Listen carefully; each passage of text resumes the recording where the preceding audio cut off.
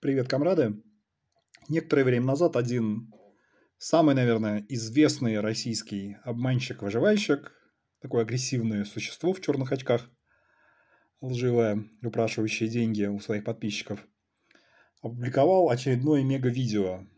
Он рассказал, что то ли реставрирует, то ли создает, что-то там делает. Короче говоря, делает такую супер военную выживальческую правильную землянку, как ее надо сделать без единого гвоздя. И я не копирую никакие фрагменты видео, чтобы меня не обвинили в плагиате, в том, что я использую чужой материал.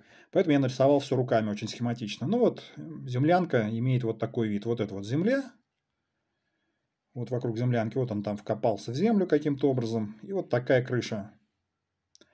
Этот человек очень хвалится тем, что все сделано без единого гвоздя, ну, как я подозреваю, как обычно он все сделал бензопилой. У каждого выживальщика, само собой, в рюкзаке бочка с бензином, даже не одна, и бензопила.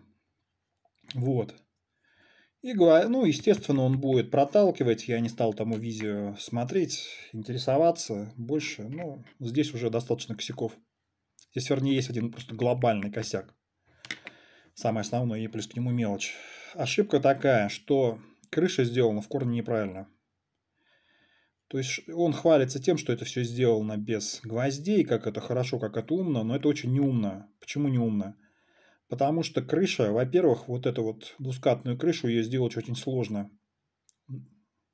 Тем более без всяких гвоздей.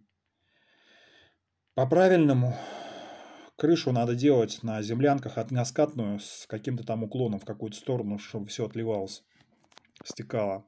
Вот эту вот крышу надо иметь может быть больше инструмента, больше опыта и главное в несколько раз больше приложить усилий. На моем канале есть видео, я его описание, ссылку на него я приложу в описании.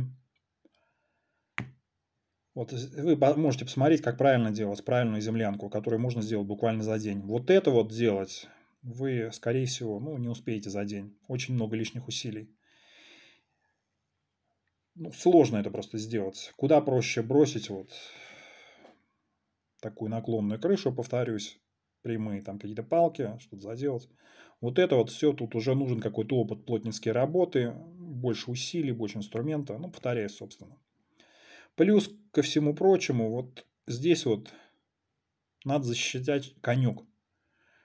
Вот каким-то образом. Что-то тут сделать. Вот здесь вот может начать протекать. А односкатная крыша протекать не будет. Ну, человек в очередной раз вам солгал, дал кривую информацию, вы можете думать, вы можете сделать вывод, какой это человек. То есть он принадлежит к той самой неприятной категории лжецов, обманщиков, дилетантов каких-то, лжеучителей, так сказать, у которых что-то получилось, что-то они сделали, они решили, что это правильно. Но это неправильно. Человек в очередной раз обманывает. Кто это такой, я думаю, все знают, говорить не буду.